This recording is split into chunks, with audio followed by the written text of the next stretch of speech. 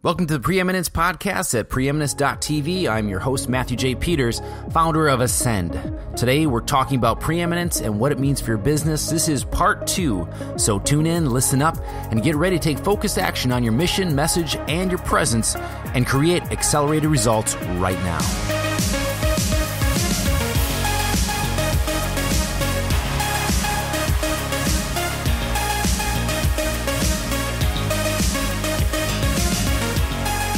Today we're going to be talking about preeminence again. This is part two. If you haven't listened to part one, go ahead and go back to yesterday and listen to part one. Now, the thing we need to think about preeminence and creating a preeminent brand or being preeminent in your marketplace is it's a place of ownership. It's a place of responsibility. It's a place of being a servant. If you're going to be a leader, you're there to serve other people. Now, preeminence, especially when you're starting out, it is a personal brand. You know, you have yourself. You can have a microphone, you can have a web camera, and you have content and desire and a vision, and you move forward on that. You don't have to have tens or hundreds of thousands of dollars or millions of dollars to do this. Now, when you have that type of money, you need to be very responsible of how you use it and when you hire people to speak on your behalf, to post on your behalf, to create videos for you. You need to make sure that they have your best interest in mind. And when you create those, you're creating something that is a product or service that is going to best serve your end client. You do not take advantage of people. You do not use NLP to try to trick people into anything. All right because you are preeminent, you're going to have more power in your marketplace, and you need to be extremely responsible for that. So let's talk about preeminence. We're going to keep going on down the list here. I've got four more here. Preeminence focused people know that what they decide to create and accomplish will come to pass. They have such confidence in themselves that they know what they set out to do will come to pass.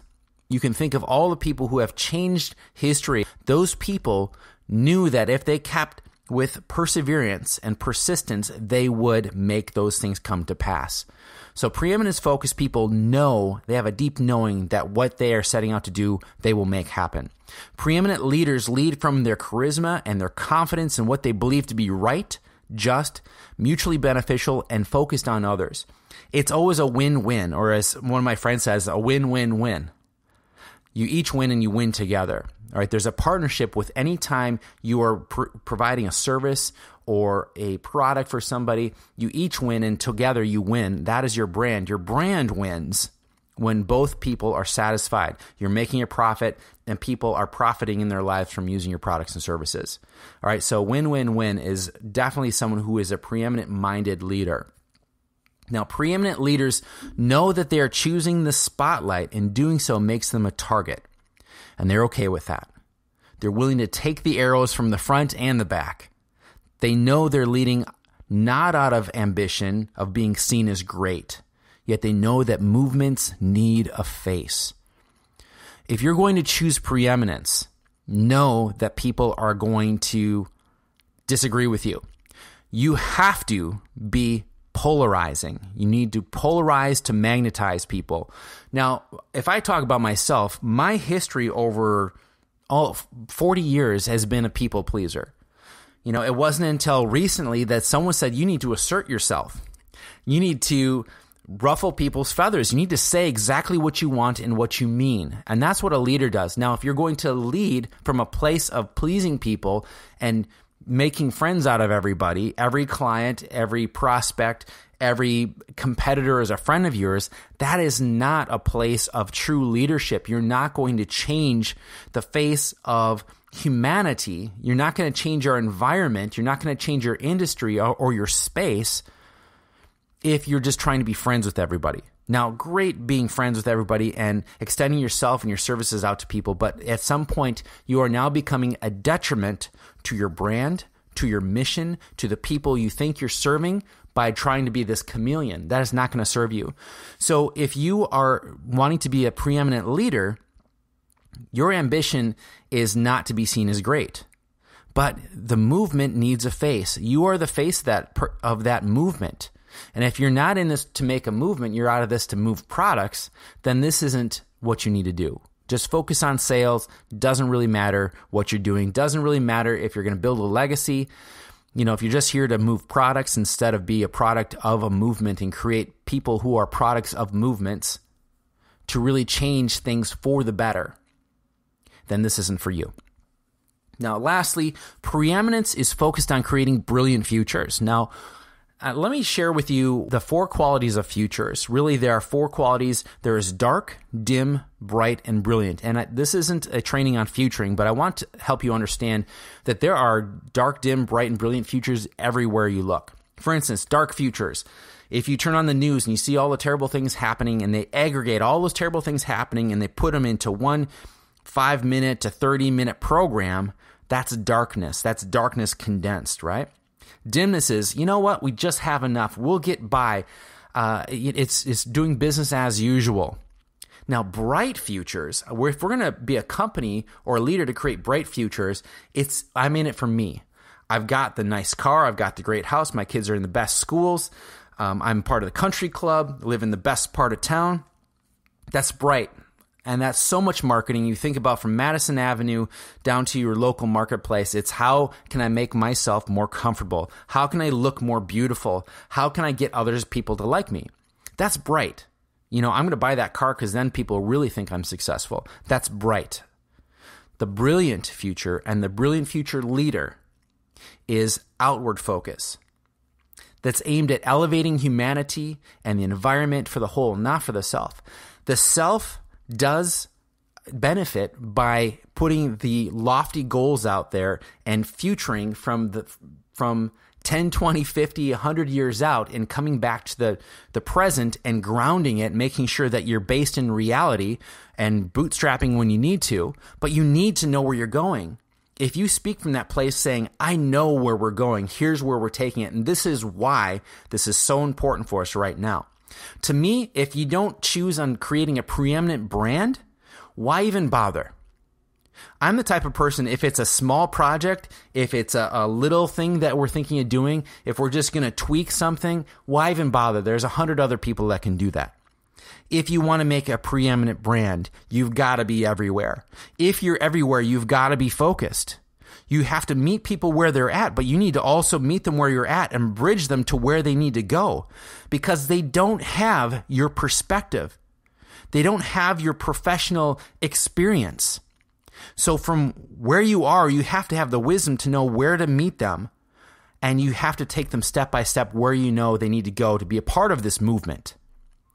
If you're not willing to do that, then go ahead, just grab a marketing book, learn Facebook ads, and you're going to be cool. You're going to make product after product. You just follow the trends and, and sell what's hot right now. If you want to be a preeminent brand, you have to lead. You need to know where the market that you're in right now is going.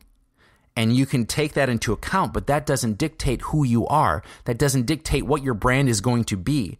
You can change the direction of the entire market space by you being preeminent in what you choose to do. You see this all the time. Tech companies that overshadow a company that's been around for 50 or 100 years, they come in and they'll sell their company to Facebook for $19 billion. Where did that come from? They shifted everything by introducing something that no one else was doing. They created value out of thin air. This is what a preeminent brand is. This is what a preeminent leader does. Is they do things that no one else is doing. They don't care what other people are doing. They don't care how much their their competition is charging. It's irrelevant. They are not competing on price. They're competing on the inner value that people have in their lives. People wanting to be a part of something, people wanting to contribute, you know, when you can speak to people and use all of the six human needs in your media, when you know your product is going to serve people on multiple levels, this is where preeminent brands break off from the herd. So if you want to outvalue your competition, you need to transfer your wisdom to the marketplace through your media. You need to share your story. You need to share your why. We're going to get into preeminence, and every day from now on, I'm going to share a story with you and how that story is going to reflect in your presentation of yourself. of where you're going as a leader, how you're going to lead the marketplace, how are you going to lead your teams? And if you are leading a team of one, how are you going to lead yourself by changing the way you think about what your place is in this world, what you're capable of doing, what you're capable of seeing, and how to structure everything so you know that what you create is going to mean something and it's going to be legacy based instead of reactionary based to what everybody is doing and I need to make money for today or I need to make money for this this quarter. All right, we're going to have a long-term focus. So over the next several days, as you listen to this daily podcast, you're going to hear little bits. And what I want you to do is every day take one little bit and put that into your thinking and start thinking about how am I going to integrate this into my life. That's all I have for you today. I look forward to tomorrow when we're going to continue the conversation of preeminence and I'm going to take it off into another direction. I'll see you then. This daily podcast is all about becoming the preeminent voice in your marketplace. So take the consistent and necessary actions each and every day on what you've just learned over the last few minutes. When not if, when you're ready to take your business, your organization, your name, your brand, and your commitment to the next level of global preeminence, head over to preeminence.tv where you can download your own copy of the Ultimate Guide to Preeminence. Enroll in the Elevation program or join us at one of our next live events. If you're not subscribed, simply visit iTunes, Stitcher, or Google Play right now and click subscribe. Until tomorrow, make today and each and every day count toward creating preeminence in your space and a legacy that matters.